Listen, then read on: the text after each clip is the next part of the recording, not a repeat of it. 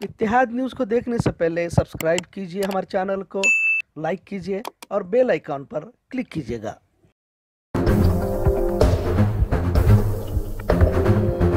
अस्सलाम वालेकुम रहमतुल्लाहि व बरकातहू इतिहाद न्यूज़ में आप सभी का खैर मकदम है। सभी जानते हैं कि राम मंदिर, बाबरी मस्जिद का जो तनाज़ा रहा, काफ़ी अरसों से रहा, पूरे मुल्क में इसके मद्देनज़र काफ़ी फसादात हुए। लिहाजा अदालत की जानिब से राम मंदिर के हक़ में फ़ैसला दिया, लेकिन इसके ऊपर भी किसी धर्म, जात या मुसलमानों को एतराज़ नहीं है। लिहाजा राम मंदिर को तामीर करने के लिए पूरे मुल्क भर में चंदा इकट्ठा किया जा रहा है। लिहाजा टीपू सुल्तान संघर्ष समिति जो बलगाम शहर की तंजीम है, इनका कहना है कि जिस तरह से चंदे के नाम पर दंगे का धंधा जो चलाया जा रहा है, उसे कहीं तो भी रोका जाए, क्योंकि उज्जैन हो, मंदसौर हो मध्य प्रदेश में मुख्तलिफ़ जगहों पर चंदे की रैली तो निकाली जाती है, पर चंदा असल मकसद नहीं होता, लेकिन वहाँ पर फसाद बर्पा किया जाए और उसका सियासी मुफाद हासिल किया जाए। यही एक पहलू लेकर हिंदुत्ववादी तंजीमें जो है, ये रैली निकाल रही हैं। लिहाजा पंद्रह जनवरी को बेलगाम के अंदर मुख्तलिफ़ तंजीमों की जानिब से यहाँ पर चंदे के लिए रैली निकालने का उन्होंने ऐलान किया हुआ है, लेकिन उस रैली को लेकर यहाँ की अकलीती तबका खौफजदा है, डर के माहौल में है। तो टिपू सुल्तान संघर्ष समिति यही मेमोरेंडम पेश करने के लिए, मुतालबा पेश करने के लिए डीसी साहब से उन्होंने अपना मुतालबा पेश भी किया। लेकिन वो ये क्यों दे रहे हैं, क्यों डर के माहौल में है, ये देखिए, सबसे पहले आपका खैर मकदम इस्तकबाल। बताइए कि आप जो यहाँ पर मेमोरेंडम दिए हुए हैं रैली को लेकर उसकी मुखालिफत तो नहीं कर रहे, लेकिन पुलिस की जानब से इस पर नज़रें रहे को यानी कि अकलीती तबके को एक तहफ़ फराहम की जाए। जैसा कि आप जानते हैं, मुल्क भर में जो है राम मंदिर को लेकर चंदा इकट्ठा करने का काम शुरू हो चुका है। हम हिंदुस्तान के संविधान को मद्देनज़र रखते हुए यहाँ पर जो मज़हबी आज़ादी दी गई है, यहाँ पे हर मज़हब को जो है चंदा इकट्ठा करने का हक़ है, मस्जिद, मंदिर, चर्च बनाने का हक़ है।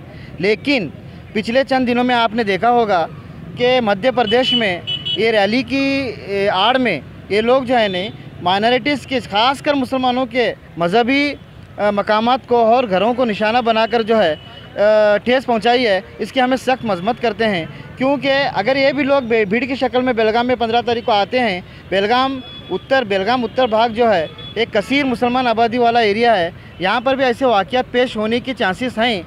ये लोग नाम, राम मंदिर का ले रहे हैं और चंदा इकट्ठा करने का नाम ले रहे हैं, लेकिन इनका काम कुछ अलग है।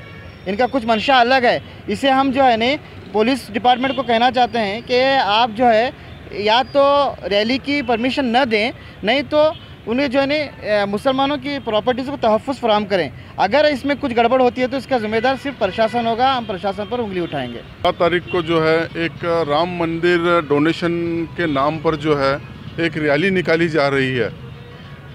तो रैली निकालने के अपोज में टीपू सुल्तान संघर्ष समिति बिल्कुल नहीं है, क्योंकि जो है, मंदिर, मस्जिद, गिरजाघर से जो है, हमारे जो है, भारत की खूबसूरती है।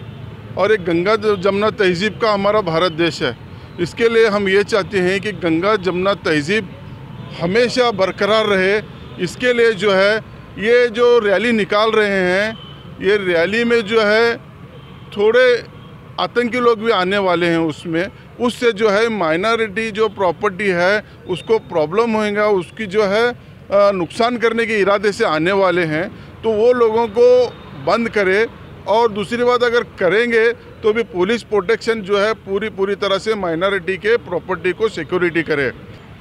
बहुत बहुत शुक्रिया। ये थे टिपू सुल्तान संघर्ष समिति के कारकुनान, जिनका मुतालबा है कि हमें किसी धर्म मज़हब से कोई नफ़रत नहीं है, या तो फिर हम मुखालफत नहीं करते। लिहाजा जिस रैली का एक शुबा, जो शक है कि ये फसाद बर्पा कर सकते हैं, लिहाजा इसे रोका जाए।